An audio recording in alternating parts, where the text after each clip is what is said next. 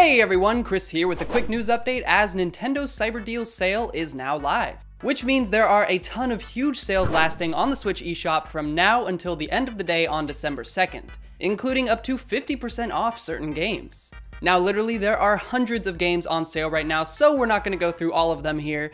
In fact, Nintendo's laid it out pretty well on their website, which we'll link to in the description. But just to get the ball rolling, some of the sales that are knocked down from their typical $60 price point include Link's Awakening and Super Mario Party for $40, Wolfenstein 2, The Outer Worlds, Skyrim, and Doom each at $30, and even Mario and Rabbids Kingdom Battle for just $15. And believe me, there is plenty more than that. So definitely check out the link in the description outlining all the eShop sales going on from now until December 2nd. If you've got any games you've wanted to try but haven't had the chance to, then now is probably the best time you'll have in a while to give them a shot.